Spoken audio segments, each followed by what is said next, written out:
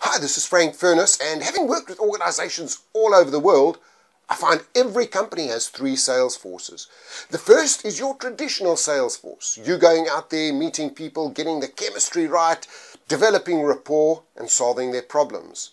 The second is your unrecognized sales force. This is everybody that says, I'm not in sales, I'm, I'm, I'm in IT, I'm in accounts. In fact, everybody that touches somebody is in sales. And of course, the third one, a huge one, is the unseen sales force. The people that you don't even know are looking for you that are starting off by a Google search. If you come up on the first page, you stand a great chance. If your social media is optimized, your LinkedIn profiles, you stand a really good chance.